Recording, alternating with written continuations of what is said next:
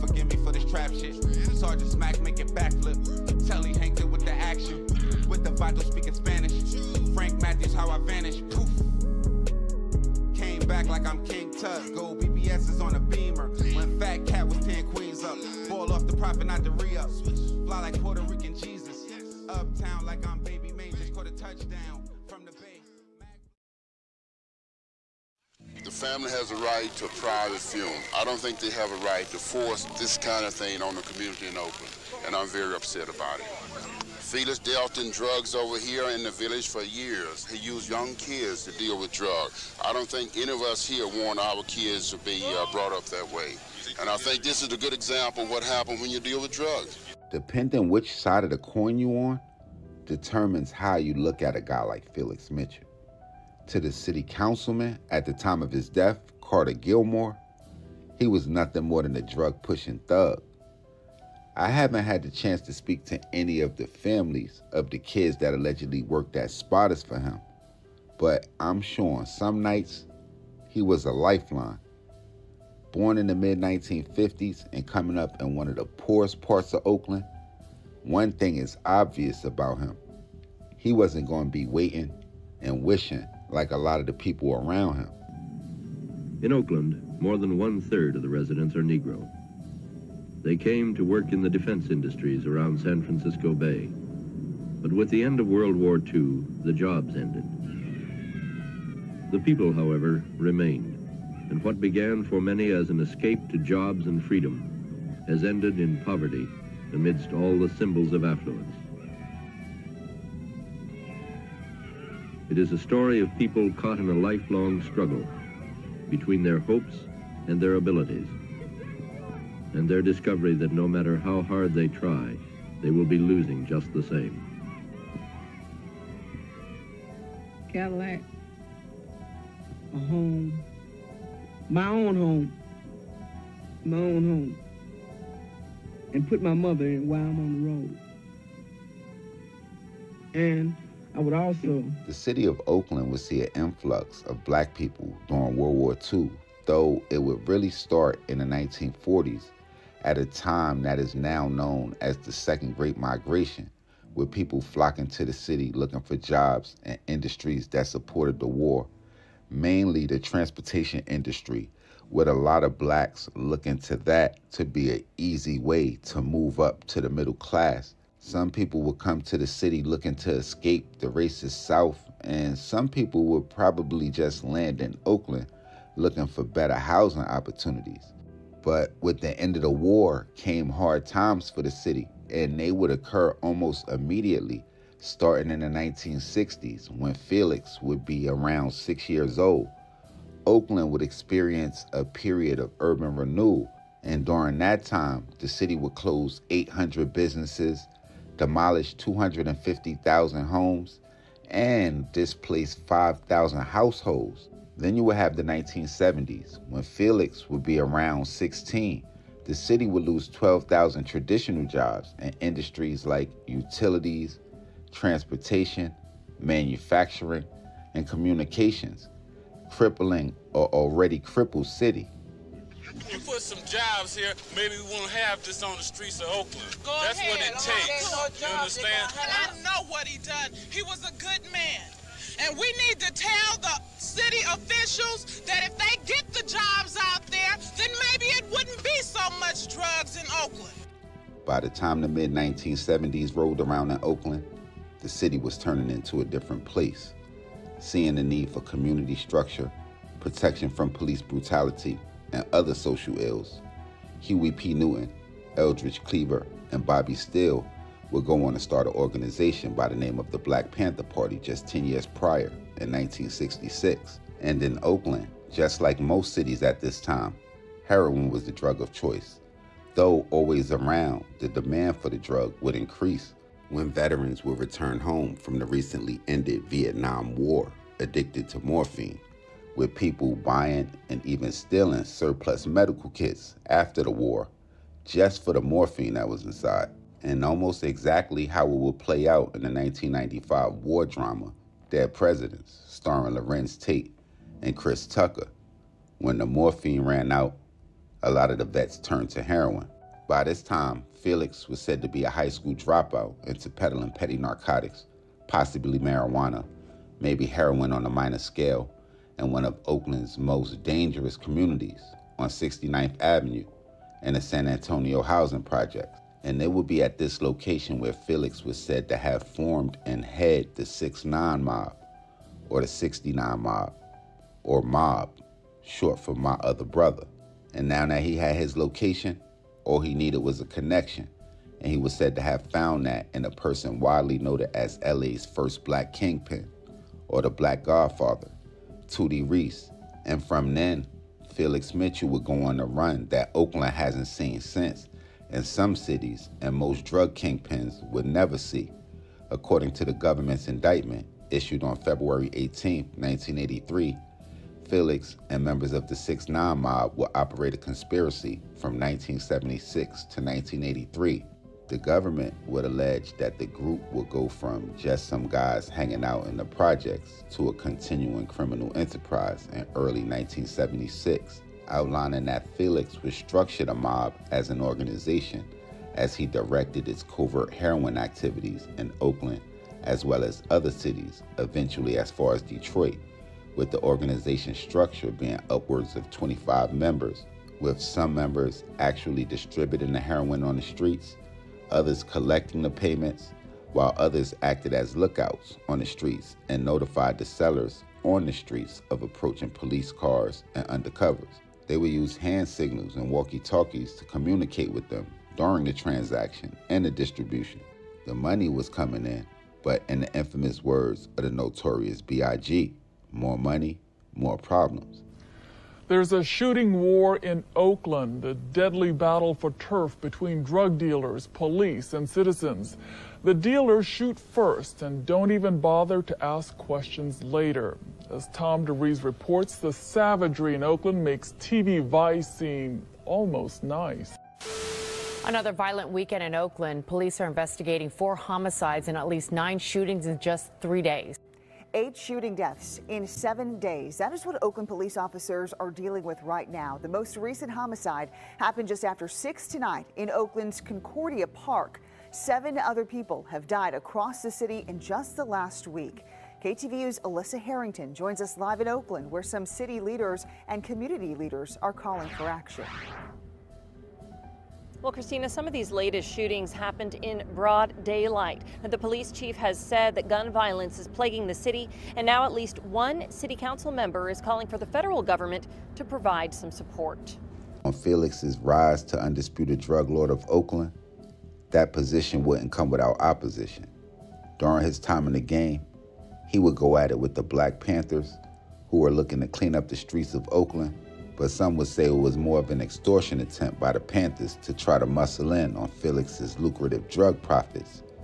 He would also face oppositions from rivals in the game, most notably Mickey Mo Moore, who was also a high level drug dealer and at the time the head of a collective called The Family.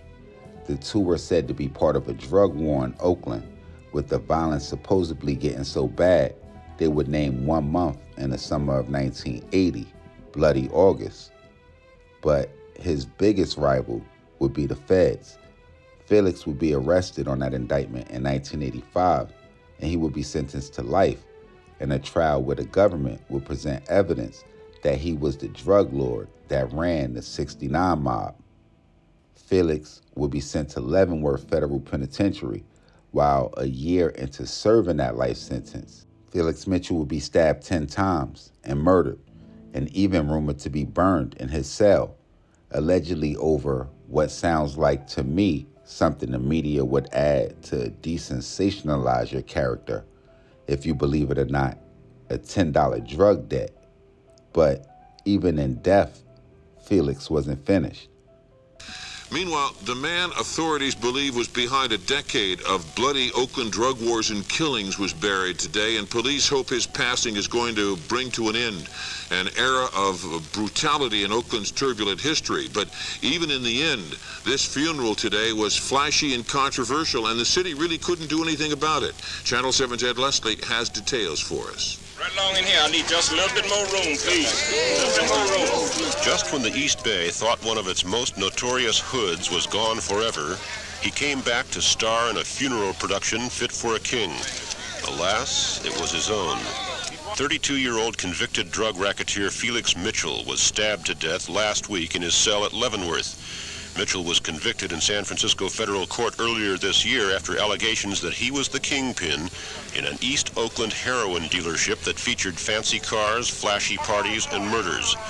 Murders including victims who had nothing to do with Mitchell's mob, innocent people who were killed merely by accident.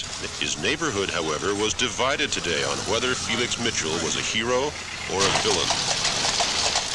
There were others interested in the garish parade that made its way right down San Pablo Avenue, tying up traffic and amazing onlookers. This is totally ridiculous. And they were the detectives who helped send Mitchell to prison. We're heading towards Lake Merritt. They were looking for Mitchell's possible successor, and their somewhat ostensible vantage point was Mitchell's favorite red Ferrari, seized by the government under a new law. At the church, hundreds of people were turned away from the sellout funeral, but many were lucky enough to get souvenir programs. Others just watched, quietly wondering how to explain all this to their children. The services were strictly private as family and friends said their last goodbyes to Felix Mitchell, now at last a victim himself. In Oakland, Ed Leslie, Channel 7 News. Well, those pictures that police were taking there are going to be gone over very closely to see if anybody was there who should not have been there and maybe help them focus in on trying to find out who's going to try to power their way down the same path that Mitchell did. Well, that's exactly what happened.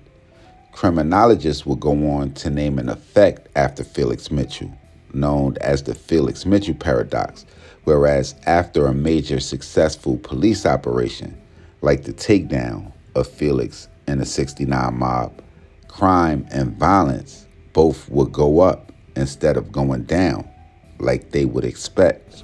Oakland is in the midst of a violent battle over control of the drug trade. Police say that drugs have been responsible for 41 murders already this year. Miami police report only 16 drug related killings so far. The Oakland totals as of this week 98 homicides, 42% of them drug related. Last year at this point, there had been more murders in Oakland, 106, but only 27% involved drugs. Oakland homicide detectives say the new breed of crack dealer is younger and often armed with an automatic weapon. Lieutenant James Hahn says the dealers are casual about killing to protect their business. Because of the younger age of these people, he doesn't go out and just break an arm. And now it's just you, they go out and they commit a murder. There is no attempt to collect on the debt anymore. It's, a, it's just a punishment for failure to pay. This funeral last year might have been the beginning of the trouble. Felix Mitchell was king of Oakland's drug trade, and he was killed in prison.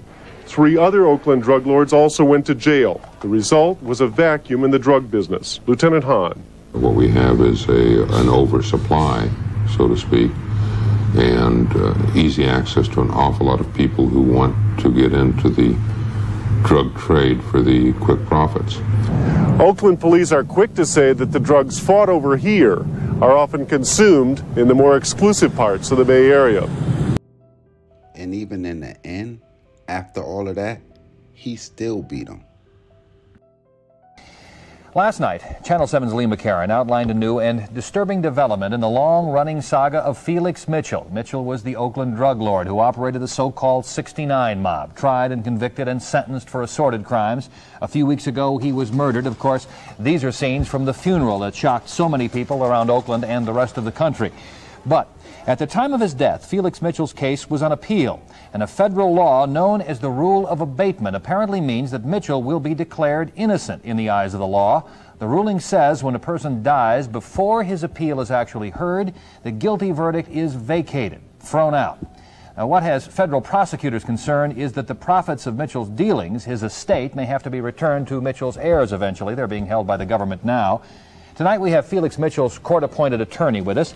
And uh, we're going to take a look at the law that most of us probably did not know existed at all. Phil Cherney, I think if, all right, we are not getting it. We have some difficulty? something called the rule of abatement. Essentially, what uh, has federal prosecutors concerned here is they say that because his case was in appeal when in fact he was killed at, uh, at Leavenworth Federal Prison, eh, they may in fact have to throw out the conviction that originally sent him to that prison and his attorney. Phil Cherney is with us now to talk a bit about that. We're sorry about the difficulties we had, Mr. Cherney. It, this is one of those cases that people will look at, most folks, and say, here's an, another of those insane laws that appears to make a man innocent when in fact the jury decided he was guilty. Comment on that if you would, first of all. Well, maybe the appearance of, uh, of innocence uh, is, is one way of looking at it. But um, I think that the, uh, what most people don't understand is the two-stage process in our criminal uh, proceedings that uh, uh, allows the, uh, the procedure to continue through until finality, which doesn't occur until uh, a review as a matter of right has occurred. So it's a two-stage process. And you have filed papers in this case, that is to vacate the guilty verdict, is that correct? Well, I have filed a motion to dismiss the appeal. Mm -hmm uh, which is uh, standard uh, practice in, uh, in the case of death. Are you trying to clear Felix Mitchell's name in this case? Well, um, it's a difficult question to answer. Uh, the, I think one of the difficulties in answering that question is that uh, because we were not allowed to continue with the appeal, or, or apparently we are not, uh, a, a serious question uh, of double jeopardy law was not uh, answered by the Court of Appeals. But again, that is a legal point, a technicality as people would call it, and not based on guilt or innocence of Felix Mitchell, is it? It's a constitutional right, very fundamental uh, in the Fifth Amendment. Will you continue this through and expect the full abatement, that is, that, uh, that his, his estate, however it stands, would be returned? Um, I expect, I hope, that I expect an, uh, a dismissal to occur, and as a matter of law, as an operation of law, the abatement will occur. What happens to that property, I'm not prepared to comment on at this time. Sir, could you talk about the worth of that property? Because I know people have tried to find out, and you certainly would know better than anybody else. Well, I, I, am not so sure that I do know better than anyone else, but I think it's a matter uh, at this point that is uh, speculation. Um, uh, and I think the federal government um, knows better than anyone uh, to, to answer your question uh, what the value of that property is. And I believe that uh, there should be an accounting after this procedure is, is completed. Phil Cherney, and that is Felix Mitchell's attorney. And I ought to point out here, thank you, by the way, uh, I should point out that he's a court appointed attorney for those people who make judgments about such things. It is mm -hmm. important to point that out. He is carrying this through as the law says he should carry it through. All of a sudden, you got a mild times room, nigga. Fuck you, nigga. That's where I'm at with it, nigga. Take it how you want to take it, nigga. Stay your ass over in the mild times. Playing no games about nothing.